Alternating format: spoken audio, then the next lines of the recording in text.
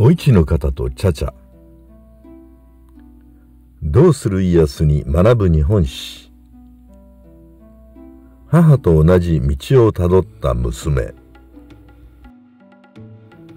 お市の方は夫の柴田勝家と北の少女で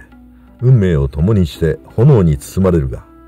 お市の娘茶々も後に我が子豊臣秀頼と共に同じ運命をたどることになる。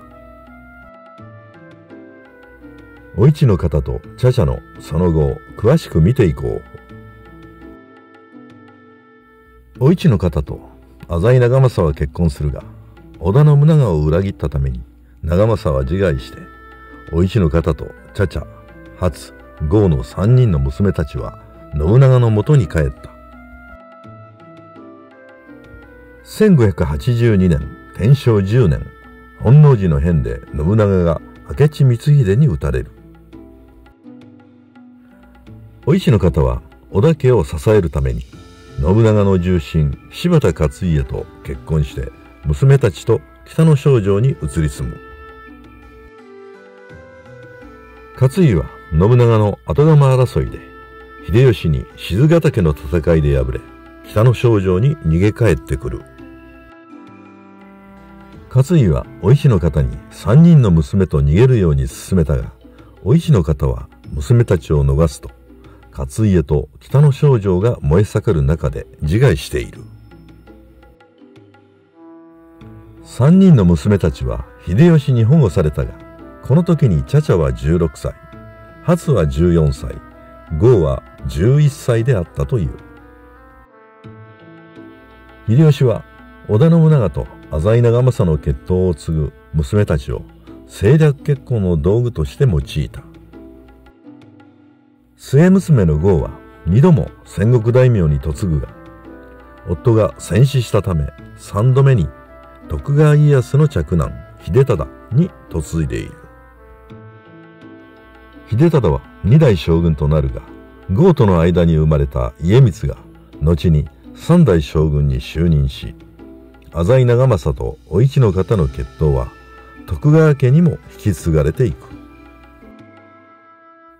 ところで、徳川幕府の15人の将軍のうち、正室が産んだ子供は、家康、秀忠、慶喜の3人だけで、あとはすべて側室の子である。それはともかく、真ん中の初は、やはり戦国大名の京極高次に嫁いでいる。そして長女の茶々は豊臣秀吉の側室となって豊臣秀頼を生み、淀城に住んだため、淀殿と呼ばれるようになる。豊臣秀吉には数十人の側室がいたが、正室の北の政所を含めて、秀吉の子供を産んだのは淀殿一人である。しかも、淀殿は男の子を二人も出産している。長男の鶴松は養成したが、次男の秀頼は立派に成人している。豊臣秀頼については、秀吉の実子ではないという噂が絶えないが、数十人いた側室で出産したのが淀殿だけだというのはあまりにも不自然である。話題が話題だけに一次資料などは存在しないが、秀吉が承認の上で淀殿に他の男の子供を産ませたという話も存在する。秀吉は跡取りを作るために淀殿と他の男との間にできた秀頼を承知の上で後継者にしたというのである。そして他の男というのは宗教関係者で親権などを要求しない人物だったとされている。あくまでも正確な資料が残されていないため、確定はできないが、こだれがない秀吉が考えたとすれば、十分にあり得る話である。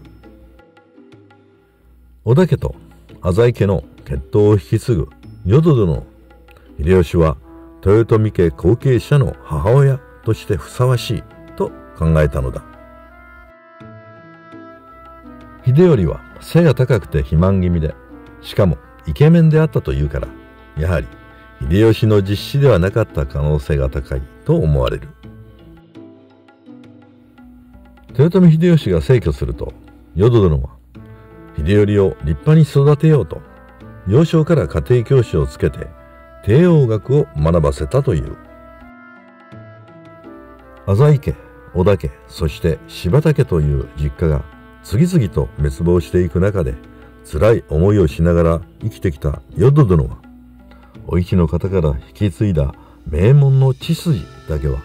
守りたいという思いが強かったに違いない。淀殿は北の万所を追い出して秀頼と大阪城に移り住んだ。そのため正室の北の万所は側室の淀殿に苔にされたために子飼いの加藤清正や福島正則に家康に味方するように諭したと言われている。関ヶ原の合戦で西軍が敗れると、徳川家康は大阪冬の陣で大阪城を大軍で取り囲んだ。この冬の陣では、真田幸村らの活躍で勝負はつかなかった。家康は淀殿に大阪城を出るなら秀頼に大和郡山30万石を与えるという条件を提示している。しかし、淀殿は